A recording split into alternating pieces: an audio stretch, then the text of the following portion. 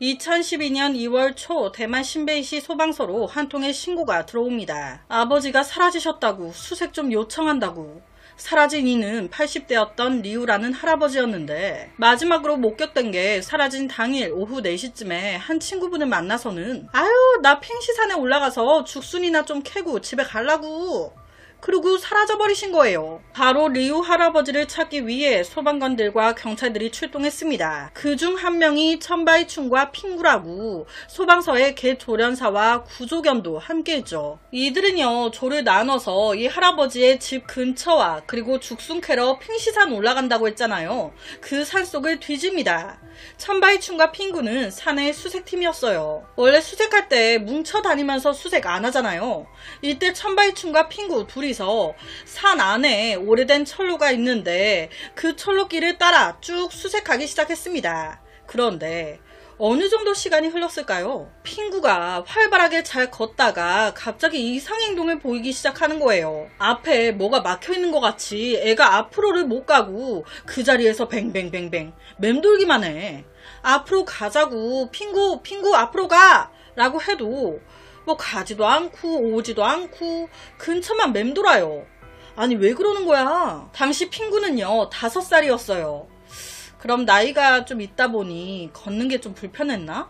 그런데 그것도 아니었던 게 이 핑구는요 되게 중급 이상의 구조견 테스트까지 통과한 특히 냄새를 되게 잘 맡아서 이 냄새를 이용 사람을 수색하거나 구한 게 한두 번이 아니었던 엘리트 구조견이었습니다. 별의 별 힘든 구조물이 앞을 막고 있어도 다 뚫고 가서 구하고 짓고 했던 앤데 지금은 산속이고 아무것도 없는데 이러니까 그것도 갑자기 이때까지 한 번도 이런 적이 없었대요. 더 중요한 건 이 핑구의 멘토가 천바이춘이었어요. 진짜 앉아 하면 앉고 앞으로 가자 하면 가고 멈춰 하면 멈추고 엄청 복종하고 말을 정말 잘 들었었대요. 이 수색을 나오기 불과 5분 전까지도 그런데 딱 산속 이 특정 지역에 도착한 후로 말을 너무 안 들어. 뭐가 그렇게 불안한지 앉으라고 해도 안 앉고 앞으로 가라고 해도 안 가고 계속 뱅뱅뱅뱅. 그러다 갑자기 핑구가 한 바퀴를 제자리에서 돌더니 어디론가 혼자 막 뛰어가. 산속에서 핑구가 사라져버린 겁니다. 이게 무슨 상황이야. 이런 적이 한 번도 없었다는데 통제 불능 상태가 돼버린 거죠. 당황한 천바이추는요. 뭔가 순간 잘못됐다는 느낌이 왔대요. 그러니까 급한 마음에 미친 듯이 핑구야 핑구야 부르면서 앞쪽으로 나아가기 시작했습니다. 그러다가 음? 기억이 기억이 안 난대요. 그저 추정하기로는 뭔가를 잘못 밟아서 쓰러진 것 같다는데 그런데 웃긴 게요. 쓰러진 천바이추는 누가 발견한 게 아니에요. 어느 정도 시간이 흘렀어요. 갑자기 쓰러져 있다가 혼자 정신이 든 겁니다. 핑구 짖는 소리가 막 들렸대요. 사라졌던 핑구가 내 옆에 돌아와 있네. 내 귀에다 대고 막 멍멍멍. 쓱 정신 차려보니 내가 풀숲에 누워있어. 자, 지금 화면이 당시 상황을 그대로 재현해 놓은 거예요. 이렇게 나무 막대기 같은 게 밑에 있고 풀숲에 이렇게 자기 혼자 대자로 쓰러졌다가 자기 혼자 깬 거예요. 자기가 기절했다는 사실 아는 사람 아무도 없었습니다.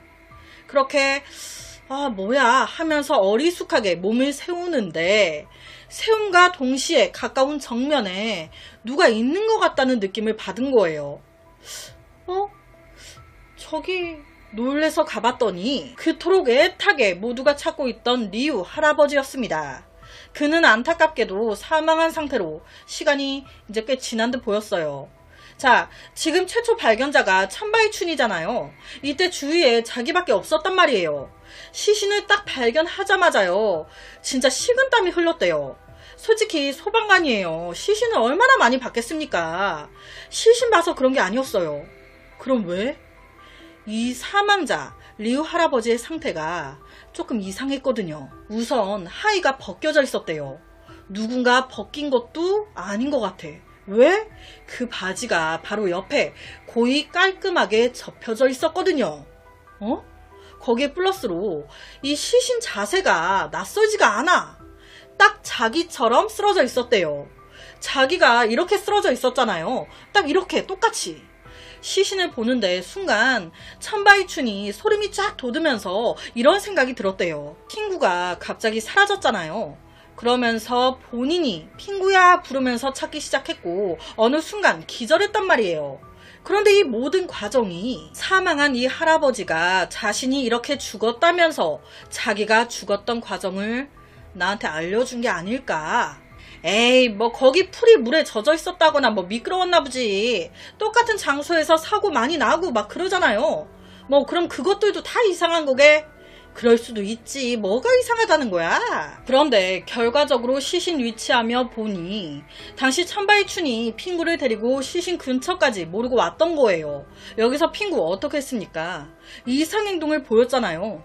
5년 동안 한 번도 이런 적이 없다는데 갑자기 거기다 핑구는요 후각이 발달돼서 냄새로 많은 사람들을 구하고 했던 애예요. 원래 같으면 근처에 할아버지 시신이 있으니 바로 가서 시신 위치 알리고 짓고 했으랜데 이때 그러지 않았습니다. 뺑뺑뺑 돌더니 사라져버렸어요. 그 때문에 찾겠다고 하다가 넘어졌잖아요. 그런데 또 혼자 일어났어. 참바이추는요, 리우 할아버지의 시신을 찾아낸 모든 과정이 너무 기이하고 이상했다고 얘기했습니다. 당시 핑구가 뭔가를 느끼거나 본 게 아니었을까. 리우 할아버지의 혼을 본 게 아니었을까.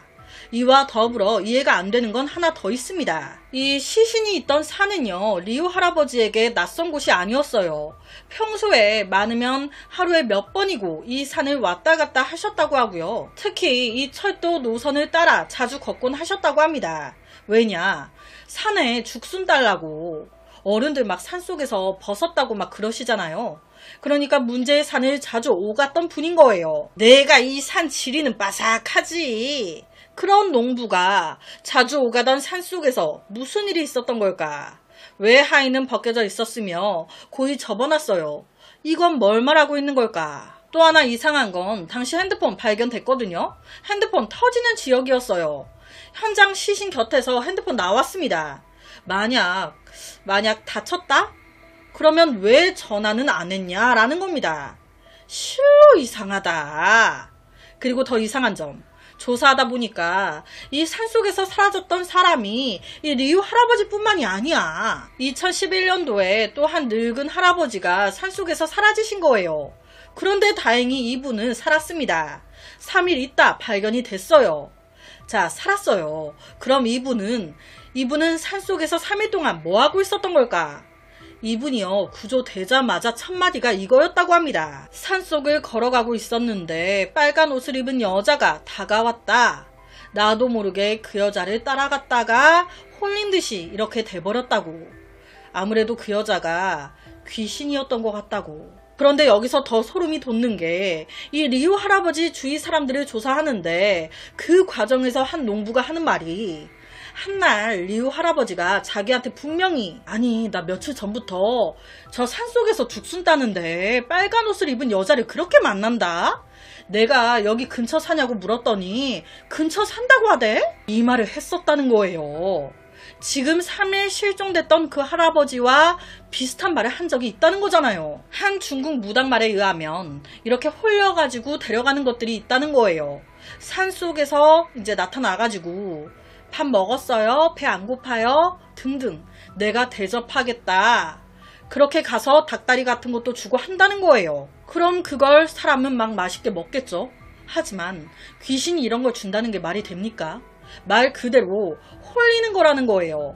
사실 그가 먹는 건 닭다리가 아닌 개구리나 약간 동물 똥 같은 거.